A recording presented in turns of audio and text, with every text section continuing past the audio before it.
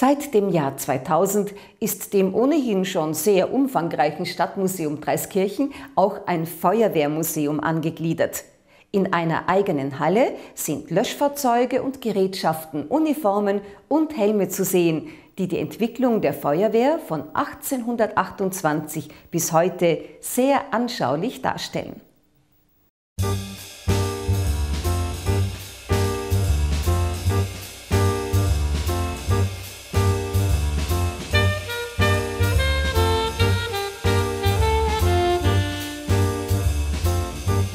Nachdem mein Vater hier das Feuerwehrmuseum aufgebaut hat und er auch aus der Feuerwehr Möllersdorf kommt, sind wir natürlich die Träger des Feuerwehrmuseums und unterstützen also, wo es geht. Es sind ja auch sehr viele Exponate der Feuerwehr Möllersdorf hier im Museum. Das ist ja fast eine Automatik. Naja, wir versuchen unsere Geräte ins Feuerwehrmuseum zu bringen, wenn es auch aus finanziellen Gründen oft nicht gelingt. Wir haben selber drei Fahrzeuge gehabt. Was die Betriebsfeuerwehr war, Semperit und die, der Ortsteil Wienersdorf und das Metallwerk. Das waren diese Fahrzeuge, die wir hier geerbt haben.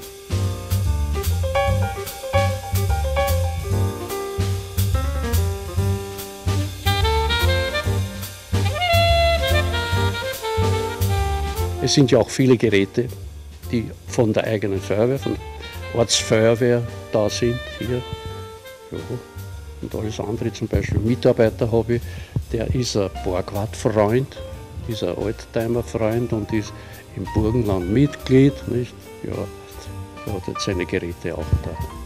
Aber wir haben das gerne, weil die Leute sehen was. Und um das geht es uns ja, dass die Leute ein bisschen was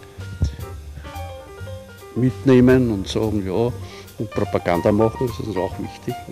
Wir stehen zwar hier in der Fahrzeughalle, aber es gibt ja noch vorne den großen Bereich äh, des Museums. Da geht es ja los mit den Uniformen, mit vielen Exponaten. Kann man abschätzen, wie viele überhaupt hier ausgestellt sind?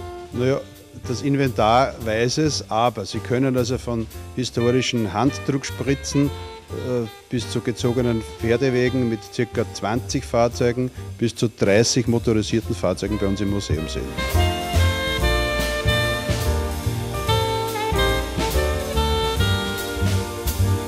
Wir hatten im Krieg 1944 nach der Schule hat uns der Herr Ingenieur Benakovic, der spätere Kommandant und Bezirkskommandant, damals war er Wachtmeister, der hat uns halt unter seine Fittiche genommen und hat uns halt geschult.